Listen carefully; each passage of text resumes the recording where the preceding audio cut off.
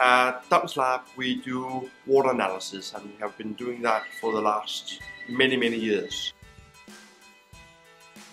I am CEO and owner, and lab manager. We do about 30 different analyses in the lab. So we have a procedure for all analysis. I'm an expert within water chemistry and water plants and the legislation surrounding water quality. We have an important function. My work has value for a lot of people, not just those working with water quality, but for all those drinking water. The water quality should be high, yes, at all times. And it is a human right to have drinking water and not everybody in the world is so lucky that we can open the tap and drink the water. Different microorganisms grow at different temperatures, so the standards for those measurements, they state which temperatures we should use.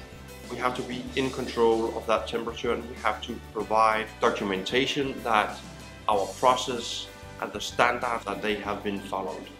The most important thing for my clients is reliability and presence of service. We want to partner with companies that we can trust in. So our good service to our customers, we want that from our suppliers also. We do get that from Eupry because they are close by and they provide us with that control we need.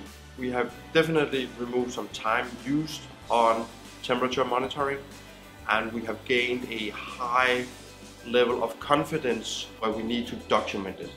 Before we used a calibrated thermometer once a week. That was, well, a bit too irregular.